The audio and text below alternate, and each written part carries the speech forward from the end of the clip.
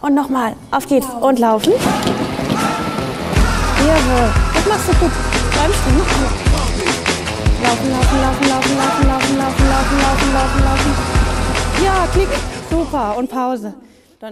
Kurze Verschnaufspause für die zweijährige Wolfsündin Anouk. Sie hat heute schon fleißig trainiert und zwar im neuen Weseler Hundefitnessstudio Fit for Dogs. Da ich die Hundephysiotherapie schon seit langem in Anspruch nehme und ganz viele Kundenhunde habe, die physiotherapeutisch begleitet werden, war es mir eine Herzensangelegenheit, denen eine Plattform zu bieten, um die physiotherapeutischen Übungen auch gezielt und in kleinen Intervallen hier zu ähm, vollziehen. Und deswegen habe ich gesagt, wir müssen sowas aufmachen. Es gibt es noch nicht. Dann wärmt euch ein bisschen auf. Erstmal so durch die Halle auch ähm, laufen, ein paar Drehungen und Wendungen. Guckt mal, dass die Hunde bei euch sind, mit Futter belohnen.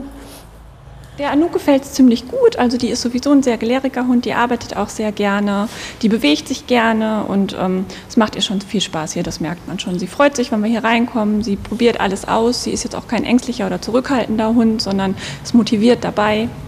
Motiviert dabei ist auch Australian Shepherd Dame Dallas. Und auch wenn es auf dem Laufband noch nicht ganz so gut klappt, laut Frauchen gefällt ihr der Fitnessstudio-Besuch an sich aber sehr gut.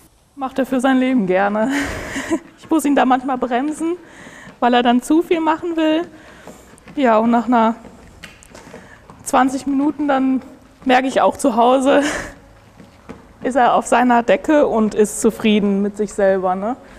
Und darum geht es auch. Es ist hier kein Leistungszentrum für den Hund, dass die immer schneller, höher, weiter sollen, sondern es sollte ein gezieltes Training sein, wo ich langsame Bewegungen auch fördere. Gerade die Border Collies, die sind ja Hunde, die schnell und hektisch sind und wir wollen das langsame, bewusste Training fördern, damit sie im Alltag auch bewusst und entspannt und ruhig sind.